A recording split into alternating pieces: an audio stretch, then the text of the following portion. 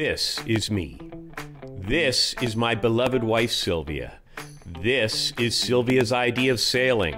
This is my dream of sailing and my hope of circumnavigating the globe as a retirement project in 2029.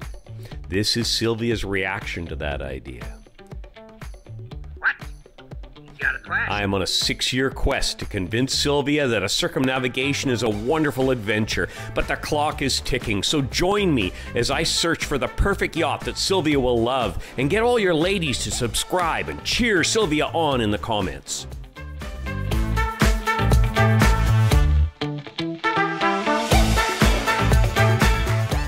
Welcome back to Naval Gazing at Camp David. This week we are heading back over to the African continent and the Royal Cape Yards in Durban, South Africa for a look at their flagship, the Royal Cape Majestic 570 Fly.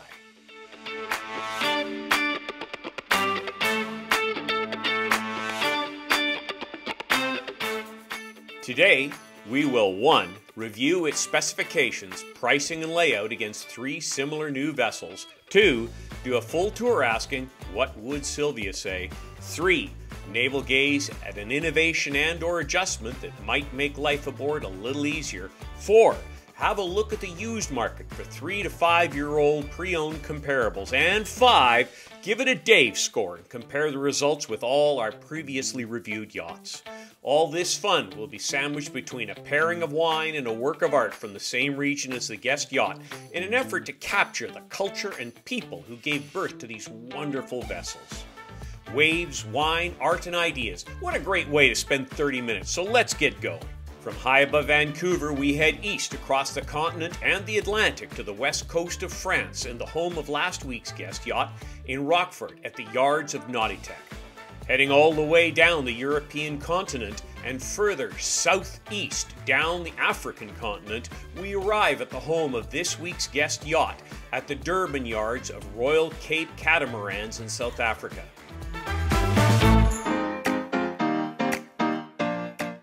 Finally, we hop southwest to the stunning Stellenbosch wine region near Cape Town and the home of this week's wine pairing, Rascallion Pandesillation Shiraz Blend 2020.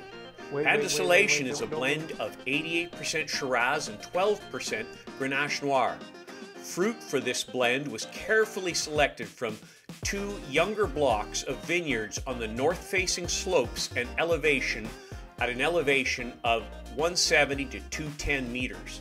Chosen for their soft, ripened fruit and tannins. The Shiraz grapes ripened in deep Hutton and Clovelly soils, which is granite derived and have a high gravel content, ensuring balanced growth and fruit that ripened at lower sugar levels. The Grenache was planted in 2008 on northwest facing slopes, producing smaller bunches with intense flavors. Efficient canopy management practices such as suckering and tipping ensured sufficient sunlight penetrated the, the canopy.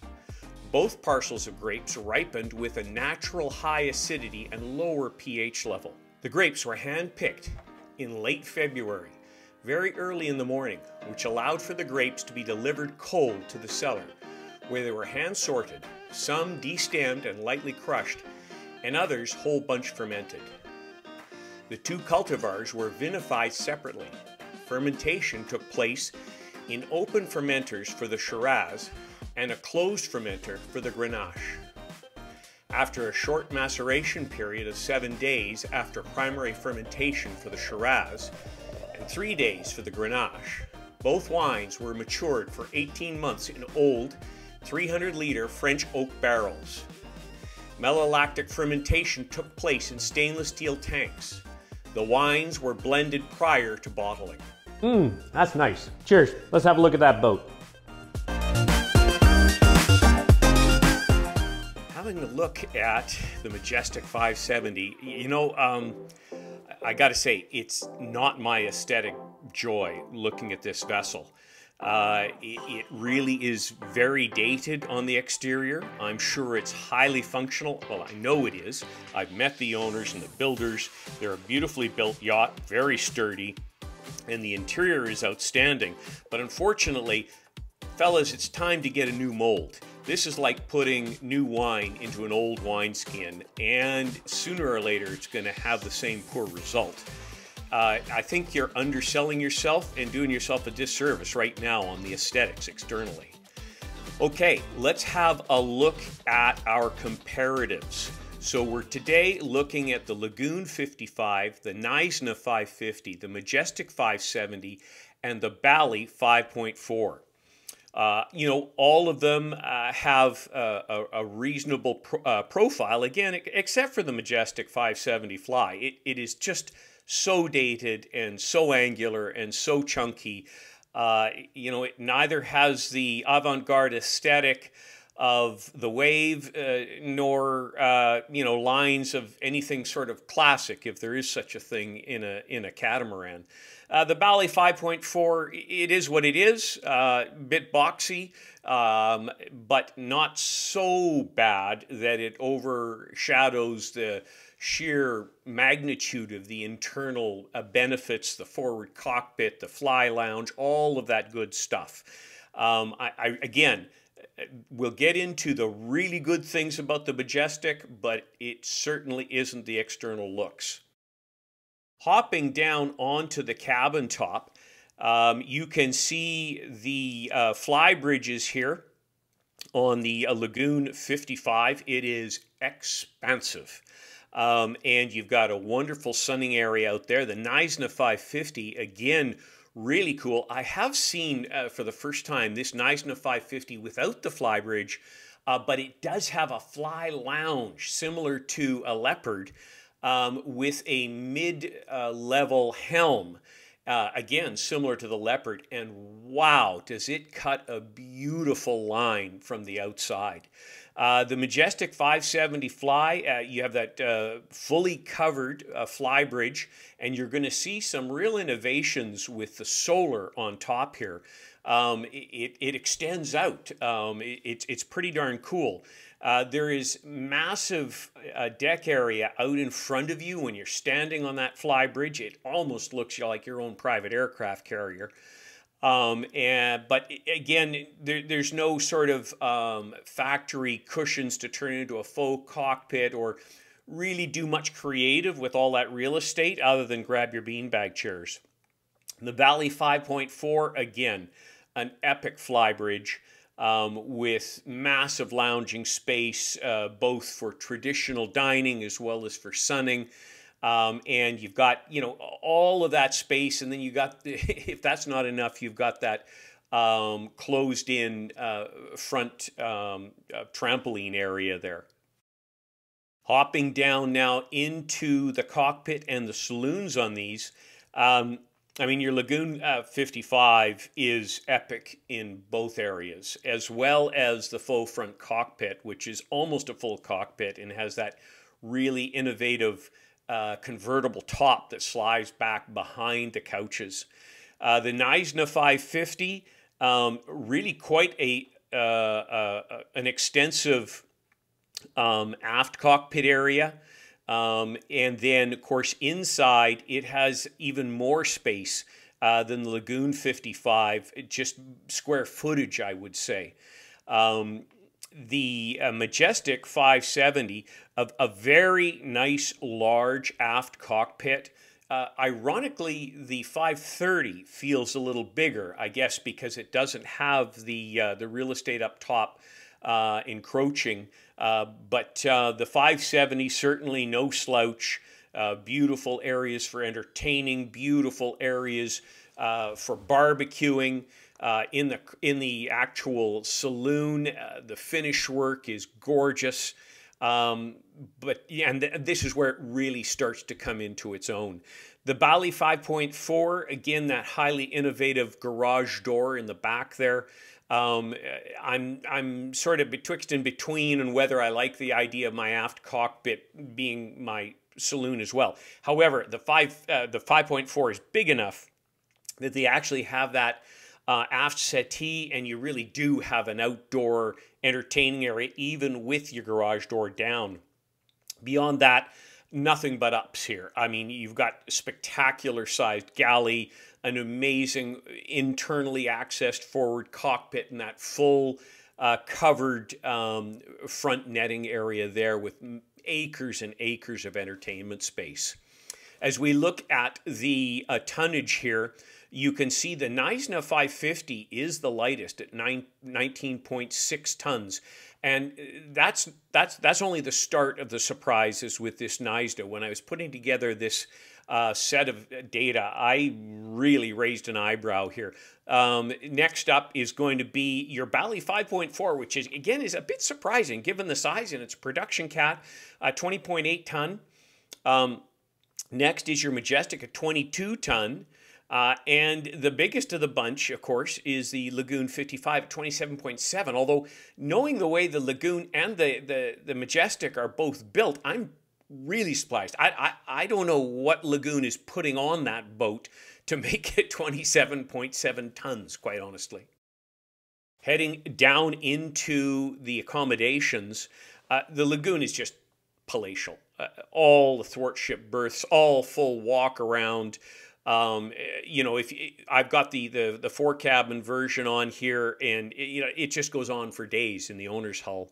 Um, the Knysna 550, uh, they've got a thwart ship uh, at the bow, similar to a um, balance, um, and then they've got the uh, fore aft uh, with pretty good walk around space uh, in in the aft of the, the hulls. the Majestic Again, uh, somewhat similar in that they, they have the fore aft in the aft, and then they've got uh, a thwartship in the bow. But as you can see, they're not mirroring; they're a little offset there. Um, but you know, a reasonable amount of space. It doesn't it doesn't feel as expansive as the Lagoon 55. I'm not sure what the space management that they've done there. Obviously, you've got an entire hull uh, oh no, sorry, you don't have an entire hull. You you have your owner's uh, hull there um, on the port side, and it, it's quite extensive um, and probably the same size, if not a little larger than Lagoon 55. It just doesn't feel that way somehow, and you'll see that when we get into the video. The Valley, the Bali 5.4 um, palatial is an understatement here. Uh, you've got uh, one complete hull dedicated to the owner's suite, full uh, access out into the cockpit from the owner's suite. Uh, I mean, you, you could run laps in that thing. Uh, the the head is absolutely massive.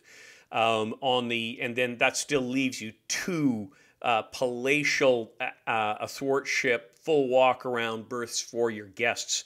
So really quite something. As far as the total um, platform goes, uh, you're looking on the Knysna at the at the sort of the largest, I would say, at, at uh, square footage, a 16.83 uh, long by 9.1 wide. Um, your next one is probably going to be your, your Lagoon 55 at 16.4 by 9. And uh, then it's going to be, it's a toss up between the Majestic and the Bali 5.4. Heading into the numbers, going across the top line, you can see the Lagoon uh, has the lowest base at about 1.1 million euro, uh, followed by the Bali very closely at, again, about 1.1, just a hair over. Uh, then you've got your Knysna 550 at uh, 1.46, 1.5 and then your Majestic at 1.6, 1.7. Uh, now, when it comes to the uh, sail away, we'll touch on that a little later, but the traditional um, habit of adding 50% uh, to the base does not apply to uh, the two South African brands. They come very, very well equipped. So in both cases, I, I sort of added um, like a hundred grand US uh, on the um, the Knysna, I couldn't find more than 129,000 total in options you could possibly add to it. Uh, the Majestic 570, very similar. Um, so they they don't follow the same rules. So your um, your sail away results are, are very different than the base price might indicate. As we go to uh, length overall, Uh, it's the uh, Majestic in the lead at 57 feet. Then uh, uh, length at the waterline, it is the Knysna at uh, 54.8 feet. The beam, it's the Knysna at 29.75 feet. The draft, it's the Majestic at um, 4.6 feet, um, with the Bali and the Knysna uh, at about the same, around 4.95 feet, something like that. Uh, and then the lagoon is 5 feet.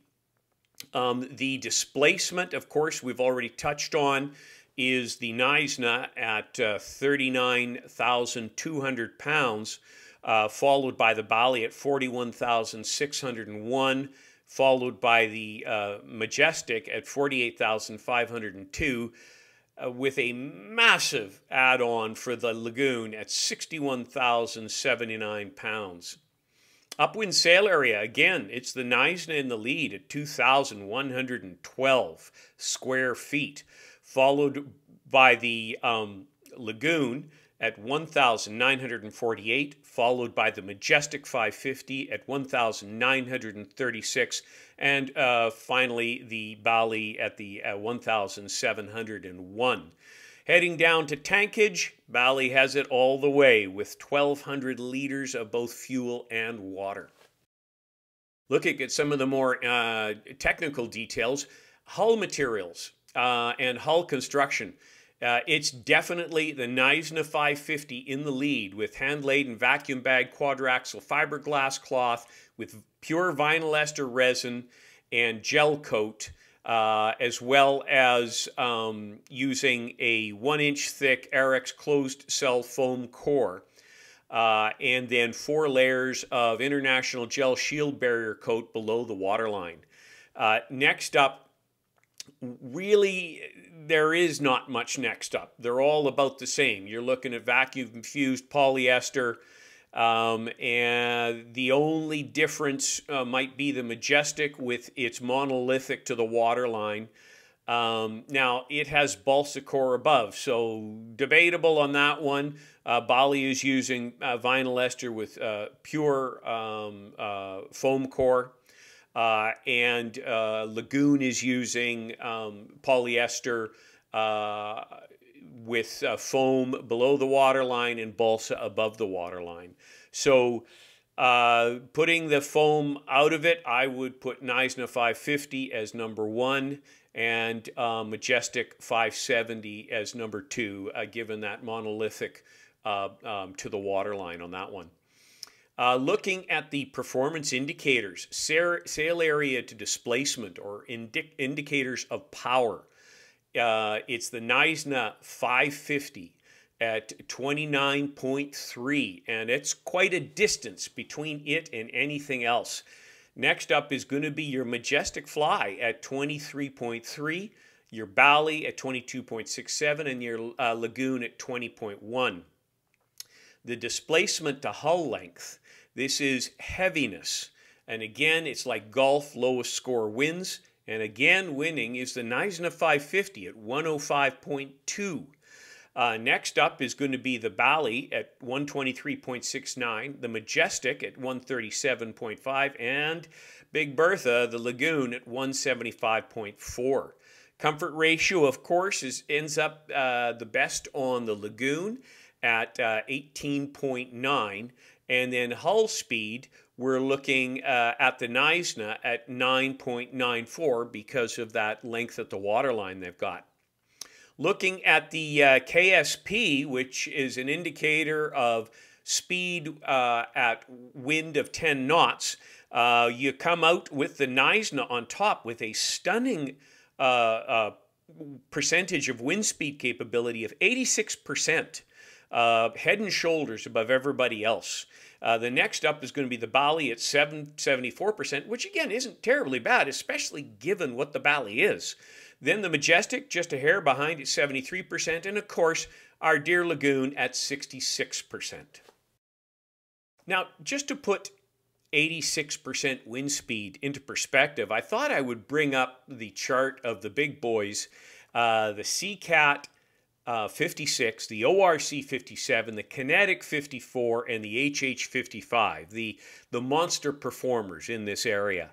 Um, so uh, we said the Knysna 550 had a uh, KSP showing 80, uh, it showing it to be an 86% wind speed boat. Well, if you look across here, you've got the Kinetic 54, which is a pure carbon boat, uh, at 81%. Then you've got the Seacat 56, which is a lot of carbon and all epoxy at 88%. Um, now, at the HH and the ORC, I mean, these are Ferraris. These are Formula One racers. So you've got 94% and a more than wind speed boat in the 57 at 112%. But I don't know about you, it really makes me raise an eyebrow at the exceptional performance of the Knysna 550. Okay, hopping on board. What would Sylvia say? Well, let's face it, I'd have to blindfold Sylvia and get her on board before she could even look at the outside because she turned this down right away. She wouldn't even let me buy a minivan because she didn't want to see it parked in the driveway. Eh, so, no, I, I, there's no way that I could walk around the outside first. I'd have to blindfold her, take her inside, let her see all the benefits inside this, and then have her come out and watch her face when she saw the outside. But I mean, look at that hydraulic um, um, tender lift. It is massive. Nice big sugar scoops. Um, you have a huge covered area uh, into your cockpit. You can see that there are already built-in um, uh, dive tank holders right there. One thing that I just love about this is the solid handrails all the way around this vessel. Beautifully done. Not to mention the sheer size of the barbecue on the back of this baby.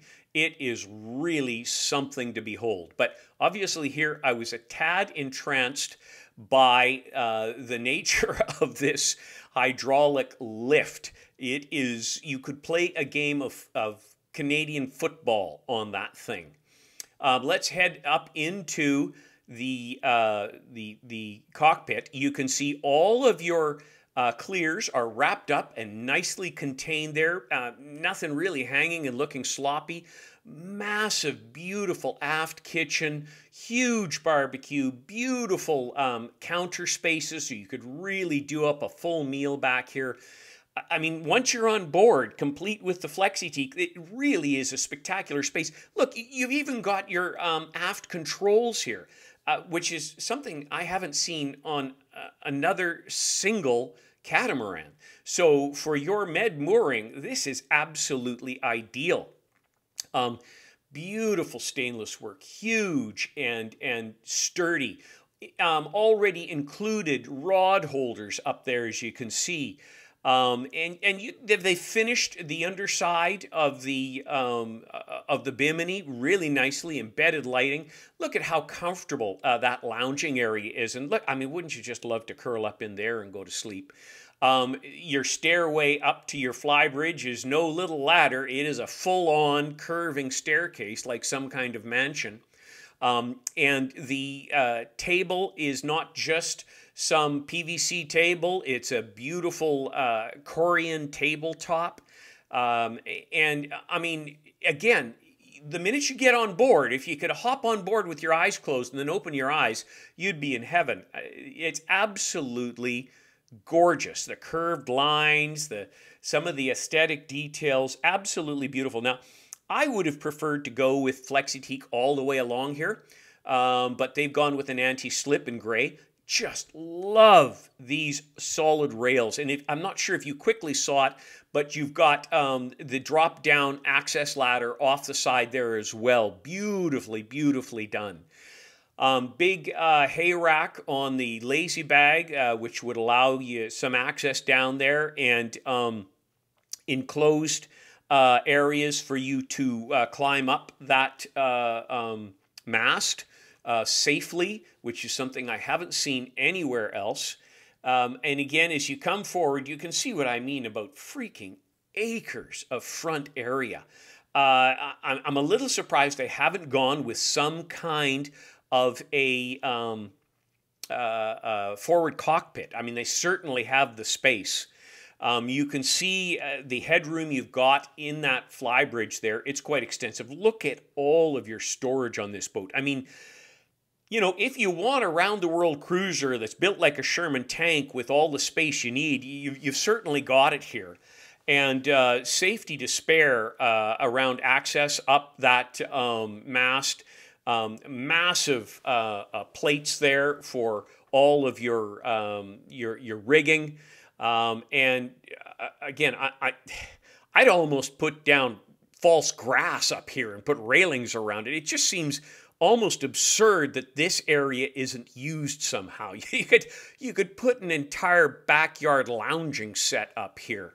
Uh, maybe that's what you should do. I don't know. It it, it it it does seem excessive when you're up here. It's just so massive. Now, it sure does create an easy flow in and out of this beautiful, huge flybridge. Uh, and, and again, remember, you also have the duplicated controls down on the, uh, the aft port area for your docking if you want to from down there. Um, so up here, uh, great sized winches, all your clutches, all your lines run back here, cup holders. Uh, you don't just have a double seat there. You, you could have four people driving the boat with you right there. Um, and you have incredible visibility um, over the bow to your your your uh, two front bows. Um, not so much the back, but you have CCTV. Um, you've got wonderful lounging space back here, built-in speakers, nicely finished bimini bottom, uh, embedded lighting. You've got uh, fridges up here and all sorts of of wonderful conveniences.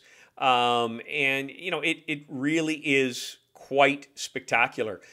Uh, let's have a, a, another glance out and around here just so you can get a sense of the shit. Look, look at that. You could land an F 18 on the front of this boat.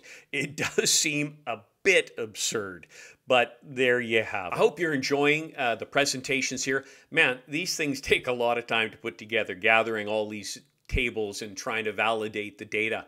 I would really, really appreciate it if you could take some time and just subscribe set the bell, and share this out to a few other like minded sailors. Uh, it doesn't cost you a thing, and it certainly would help the channel. We're coming up on 2,000. I'd love to see that escalate around the 10,000 mark. So if you can help us out, we'd really appreciate it. Thanks so much. Heading into a little navel gazing, given the sheer scale of this vessel, it seems logical that we're going to have a quick look at a new technology that actually goes very nicely with the Volvo technology we were looking at um, a week or two ago. Uh, this is a surround view camera system by Garmin. You've got six or eight cameras scattered around the vessel, and especially with a flybridge, you can tuck them in there nicely. The system then stitches it together on the screen, similar to your luxury vehicles.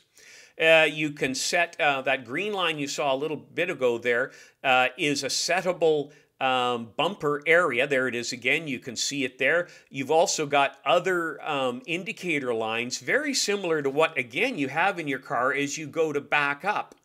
Um, you know, this really makes a lot of sense and isn't that complicated to do. To say we have the technology is, is, is nothing.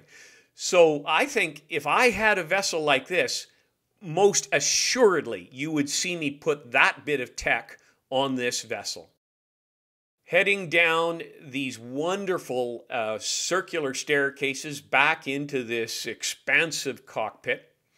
We'll have a gander around, and you know, she opens up beautifully too here, uh, creating a nice flow from cockpit into saloon. And have a look around this saloon. Uh, I mean, first class, beautiful Corian, and not just a boring old white Corian, but it's sort of a granitish Corian. Uh, I'm not big on the bleached woods, but I mean, uh, you can choose whatever you want. And for what it is, it really is attractive. Massive um, settee there, dining area, beautiful island counter. You've got full size dishwasher. You've got lots of refrigeration and freezer space. Massive uh, stove there. Uh, lots of what did we got? One, two, three, four, five burner uh, oven top. Uh, microwave, uh, you name it, you've got it here. It's all there. Uh, you know, the lines of the, the, the, dated lines of the exterior do creep into your sensibilities here with the front window shapes and such, but there you go. Heading down the stairs, uh, we're heading into the port hull, and um, you can see this is your guest hull. So uh, aft, you've got this beautiful twin room, but look at the sheer headspace you've got in here. Nobody is going to feel cramped or hard done by in this gorgeous, gorgeous cabin. You have lots of ventilation uh, over top, side, back, and then you have this epic epic head. Look at the floor there. It's it's a pebble style floor. It's absolutely gorgeous. And look at the look at the materials and the finish on the um, on the beautiful handrail there wonderful, wonderful pantry. I mean, again, as far as going around the world, you have all the space you'd ever want. And uh, here is your next uh, guest cabin. Uh, I mean, you got shelving, you've got uh, cupboards, you've got hanging lockers, you've got, uh, and, and then you've got this wonderful uh, athwartship. Now, here's the thing though, it's an athwartship with no access up the sides. So it is, um, really not much better than a fore aft full beam. Uh, so you do have to crawl over it, but holy mackerel, look at this head, you guys. Look at this head. The flooring, the countertops, real dual sinks with real space between them that the pharmacy can go on. Uh, and then a, a, real shower with lots of space, its own window. Uh, you know, like I said, if I could blindfold Sylvia and take her down here and walk her around, she'd be in like Flynn, just as long as she couldn't see the outside. Okay, let us follow our guide here. I'm going to have one last peek in there. I just can't believe the size of that twin. Uh, we're back up into the saloon and uh, just another perspective of this, having a quick look around uh, at the sheer space. You got your wine racks there, all your electronics right there. It, it is interesting to note there is no forward facing nav station. Now, it, it, it would be a moot point in that you really can't see out the front per se. Um, and you do have a fully enclosed flybridge. So, really, what's the point? Uh, here we are in uh, the aft, um, uh, fore aft berth.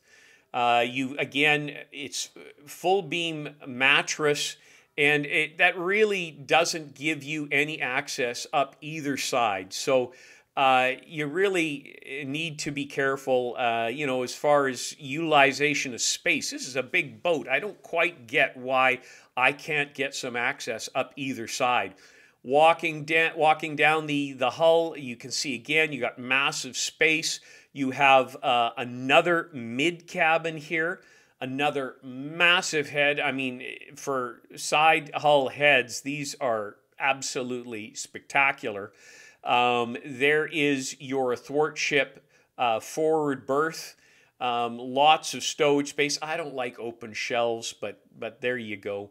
Um, and then another head, another beautiful um, um, forepeak uh, double. You've got um, inboard windows as well as outboard windows. Obviously, that's an escape hatch as well. Um, but, you know, given that this is your forepeak room, this is your bathroom that you're going to utilize. It's huge. Uh, you know, the, the shapes and everything are so unconventional because you're not used to those. Uh, this kind of uh, a, a hull or, or deck shape uh, so you really got to wrap your head around where all of these spaces and crooks and crannies are. But I mean, wow, what a vessel. So, what do we compare this to on the pre owned market? Well, let's have a quick look. First up, we are looking at a 2021, a one year old, uh, actually two year old Bali 5.4. They are looking for 1. 525, tax included. Now, for our sail away on the Majestic, um, we simply took the base and added 100,000 US to come up with a sail away, sail away price, a real sail away price of 1.95 million. Uh, so we're looking at 1.95 for the 570 versus uh, 1.525 for a two-year-old um, Bali 5.4. Um, you know, 400 grand. Uh, I, I love the solidity of the Majestic 570. um, but the Bali's not a bad boat. I, I, would have to save the 400 and go with the um, the Bali. Next up, we are looking at a 2021, so uh, two-year-old boat. Uh, it's a Fountaine Pajot uh, Samana 59. Uh, and they are looking for 2.85 versus our 1.95. Um, the Samana 59 is an absolutely stunning vessel. Probably, uh, you, you know, it's it's in a different class than the 570, although you know it's it's not that much bigger. Um, uh, if I had the bucks, I'd do the Samana. But uh, if if I'm looking at practical use, uh, it would be uh, the 570. Next up, we're looking at a 2019. Uh, that's a um, two, three year old boat. Um, it's a, Leopard 58. Uh, talk about massive boat. Um, and, and I would sort of put this in the same category with the Majestic 570, although aesthetically uh, the 58 is, is much prettier. H having said that, the interior of the 570 lays the Leopard to shame. Um, so they're looking at 1.7 versus our uh, 1.95 for a brand new Majestic. Um, the, the tennis court sized um, flybridge on this 58 uh, and if you get the uh, the full main floor, open main floor, is so spectacular, even with the lower quality materials. I'd probably save the uh, the 250 and and go the Leopard. Next up would be a 2021 two-year-old Outremer 5X, uh, and we're looking at uh, 2.290 versus 1.950. Um, on this one, uh, there's no doubt I do the Outremer 5X. Um, you know, admittedly, I'm paying a, a dear price in space, uh, but the, the technical capabilities, uh, even I cannot deny it of an Outremer 5X. Uh, there's, it's big enough that it makes up somewhat for the lack of space. Uh, and um, I'm geeky enough that uh, I would love the chance to learn to utilize the blessings of an Outremer 5X. Next up is the um, 2021, so a two year old Moon 60. They're looking for two and a half versus two. Um, I, I, I, I, I'd, I'd probably do the Moon if I had the half mil, but I wouldn't cry if I didn't, and I'd get the 570. Okay, monohull heresy for all you cat lovers who can't stand the idea of a monohull. Let's see what we're comparing to. Again, we're adding 20% to the length of the uh, comparable catamaran to allow for uh, reasonable comparison of livability space. So we're looking at stuff in the 65 to 70 foot range here. And our first up is a 2018, so a, a, a, a five year old, four year old um, boat, uh, CNB 66, 70 foot boat. They're looking for 2,067,000. Uh, no, I do the Majestic 570 in a heartbeat. Uh, next up, we are looking at a 2019. Uh, so that is a three-year-old boat. Uh, and we are, it's 69 feet. It's a Hanse 675. You know I love this boat. Uh, they're looking for 1.6. Uh, in a heartbeat, I would convince Sylvia to live with the heeling, assuming that I had the guts and capability to actually um, shorthand uh, a vessel of this magnitude, and I do the Hanse. Next up, we are looking at a 2018. Um, so a four-year-old uh, Jeanneau 64, uh, and uh, they're asking 2.3. Doesn't take a Philadelphia lawyer to know that that would be my boat. Uh, not not the majestic. I'd save the uh, seven, six, six and a half, and uh, I don't know, buy, uh, buy, buy, buy some counseling for Sylvia when she didn't like the heeling. Um, okay, let's move on to the Dave score. So we have done a lot of freaking yachts. Where's the 570 end up? Well, you know, again, new wine in an old wineskin. Time to get a new mold, guys. You have capabilities and finish work and ideas that that are really outstanding, but uh, you know the the look of that thing is just it's it's just not there. Now maybe there are others who are more practical than me, but uh, for me it's not there. Uh, so we're looking at um, elegance on the uh, interior. Uh, I, I the six is a little low. I'd probably go with seven. The, the problem is that the exterior and its lines encroach on the elegance of the interior. Um, and there's no way around it. So maybe I was a little harsh here. Maybe it maybe should be a seven. Exterior a six. Uh, um, I mean, I was probably kind there. So I guess between the two of them, we're, we're fine. Uh, comfort on the interior, uh, a seven. Um, again, all those crooks and crannies, the full hull to hull uh, mattresses with no access up the sides made a, a big boat feel relatively small. Uh, so interior comfort, uh, you know, a seven. Exterior comfort, uh, a, a, seven. There's just so much more you could do with all that real estate. Um, then lazy sailor, it's a seven. You know, everything comes back to the helm. Uh, condo, it's an eight. It's you can't get over the sheer size and space. Uh, geek, it's a six. There's not much geeky here other than that uh, aft uh, uh dinghy platform. And value for money, I, would give it a seven. I'd give it a seven. So we end up at, um, you know, a 68 out of 100, putting it uh, right in there with, a, you know, a Outremer 51 and the Dufours and the XS and the Seacat uh, 37, that sort of thing again, trading sheer size for, for, for some of the other uh, elements that appeal to me. For our Art of the Region pairing today, we're enjoying Makiwa Mutomba, Children in a Red Boat.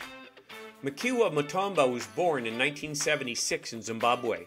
He attended various urban schools around the country until university level. However, in 1999, when he had completed three years of university studies in electronic engineering, Makiwa abandoned his studies to follow his dream of becoming an artist. I'll talk about a shift. Now, based in South Africa, he has exhibited numerous art galleries in South Africa, Germany, London, France, India, and the USA. Well, there's our waves, wine, art, and ideas for this week. I do hope you've enjoyed them. Hope I wasn't too hard on the the external looks of our Majestic 570, but I, I really admire uh, things that this group is doing and some of the innovations they have, and, and I really think it's time for a new wineskin for that wonderful new wine they've got going on there. Anyways, we've got another future yacht episode for you next week that I think you're going to enjoy, so stay tuned and we'll see you then. Cheers.